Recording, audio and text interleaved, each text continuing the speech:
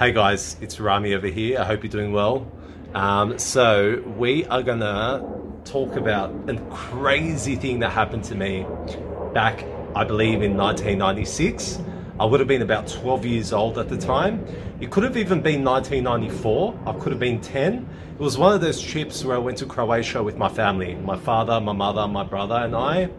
Uh, and we went to visit our grandmother in her village called uh, Sveti Ivan Žabno in Croatia, a tiny village. So this story deals with a very crazy scenario that happened. And it, it didn't only happen to me, it happened to my brother at the same time. So for a very long time, I, I refused to share this story because I always used to think, well, what if it was all in my head? What if it was a dream? But my brother, my living brother, remembers the exact story. So my brother remembers the exact scenario, the exact situation. So we both went through it consciously at the same time. That's why I believe this was definitely a real experience. And it has to deal with alternate worlds. I swear to God. Are you ready? Just hear me out. All I ask is that you hear me out, okay? So everything I'm telling you now is based on that memory that I have, that exact memory. I could still remember it. Like I could remember parts of it very vividly till this day. I'm 37 years of age right now. I still remember what happened in that tiny village in Croatia when I was like 11 years old with my 14 year old brother. So what happened is um, we were walking down the very quiet street that my grandma lived in with very few houses, like very few houses scattered around. The road wasn't even pavement or like, it, the road was just made of rocks. So that's how kind of quiet this place was. Now my brother and I, we decided to just go for a walk. We grabbed our, our soccer ball and we just went for a walk down. So away from the main center we walked down where it was even more remote and quiet. And we followed this main street for a couple kilometers. And then I remember there was like a little, kind of a little veer off to the left hand side.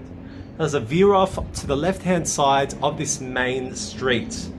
Um, and this veer off was, it kind of looked like a path, but it wasn't very clear. But it looked like a path that led out. So it kind of led away from that main street that my grandma lived in.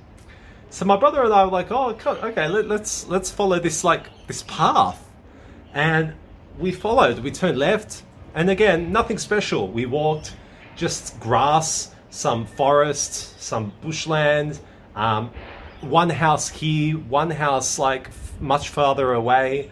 We we're walking, we we're walking, we we're walking, bouncing the football, kicking it, the soccer ball around my brother and I were just chatting, and then we kind of this this trail kind of went on a bend, and then we followed the bend of the trail, and it got more. It got a bit more dense in terms of the, the, the, the bush, the foliage. It got a bit more like foresty in a way. And what I remember was when we turned around uh, uh on, you know, we turned around this corner, and when we walked, and I remember it was a sunny day, guys. It was a beautiful sunny day. I remember that. And we turned around this corner, and I remember very, very well. On the right hand side, there were like hedges, or it was kind of like um, like shrub, and this shrub was just following kind of like this um, the pathway. So to my right was just this shrub, and I remember seeing these um, either purple or blue flowers all over. So like it was shrub with purple or blue flowers all over following this little pathway. And as we walked further, I looked and, you know, as a few trees cleared the way on our left, we looked right up ahead of us and there was this majestic scene. I'll never forget it. This majestic scene, guys. We saw a castle I'm not kidding you. In this tiny village in the middle of nowhere with nothing exciting happening, we saw this castle. And I remember this castle was white. It was at least, I'd say, three stories high. I'd say two or three stories high. And the way it was designed, it looked like something out of a fairy tale. And I remember my brother and I were like, whoa, like, look at that. Like, what? Is that a castle? Like, wow, does mum know about this? Does our family know about this? Like, this is awesome. I didn't know this was here. And I remember, like, I was like, oh my God. We, and that the sun was shining bright in this, on this castle that was just sitting here in the middle of nowhere in this tiny village in my grandma's village. And when I looked at this castle, it felt very, uh, like, uh, surreal. It felt very amazing and my brother and I were just like, well, we, we were very adventurous. So we want to explore. We want to go and have a look at this castle. Like, who lived here? Find out the story behind it. You know, what, what is this place? You know? And we wanted to go explore further. So we started to walk and follow this path. And I remember when I, the, the flowers on the right hand side of me, I started noticing bees like so many bees. Or they could have been wasps. I don't know. I believe they were bees. These bees just boom, boom, boom, like buzzing around, all coming towards these flowers, like, and basically I, I was so scared of bees, you know, I was frightened of bees. And I remember um, each time I'd want to go closer with my brother towards this castle, which was like at this point, maybe 200 meters down.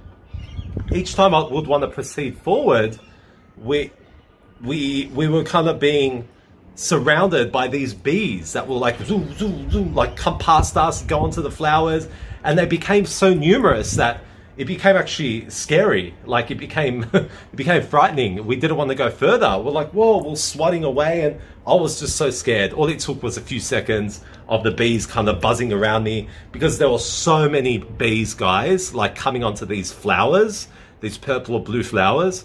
So many bees just coming around there.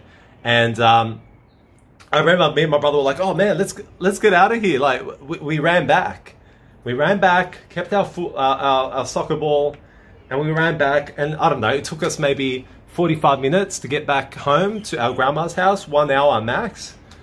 And I remember, I don't know if I told them that day, like straight away, what my brother and I did, but um, at that point, whoever we told they didn't really believe us. I remember we may have told our, our or our aunt, and they were like, oh, really? This.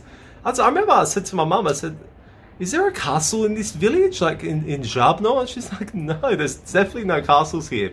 And recently I've done more research. So I've gone on Google Maps.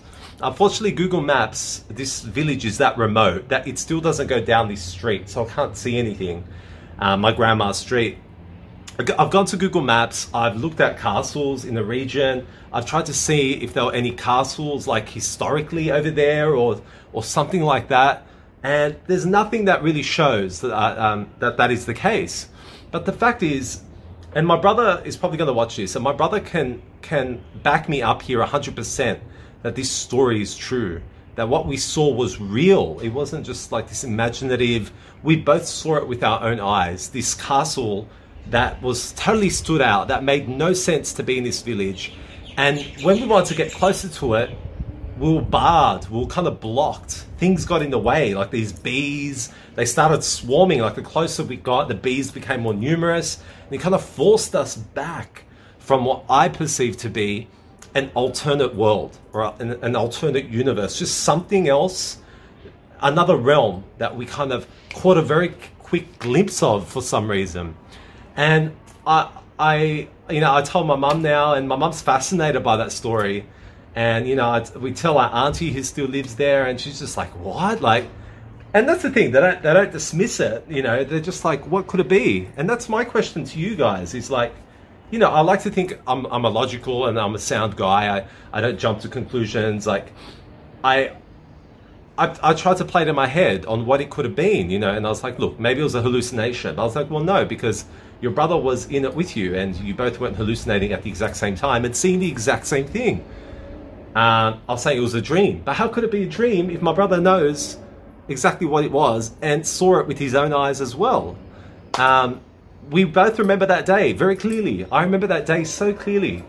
And I remember what we saw. And it was just such a surreal experience. And I, I don't know I don't know how to explain what it could be. And maybe you guys can help. Maybe you guys can help me on what it could be, either on a natural level or either on a supernatural level. Like I'm open to both ideas. But that was the day that I, I it kind of triggered in my mind that there's a possibility of an alternate universe or a kind of like a an alternate realm that exists beyond what our senses can really see. But I believe that in certain moments, in certain places, in certain times, we can kind of get a glimpse into this alternate world, which could which could represent the past, which could represent a future. We don't even know. It really opened my eyes up and it really made me think so much more about human perception and and the the universe as we know it. So that was my story, guys, about my um, alternate world experience that I had in a tiny remote Croatian village. Um, amazing. Um, let me know your thoughts. Let me know your feedback. Have you experienced something so strange like that? Please let me know. All right. Take care of yourself.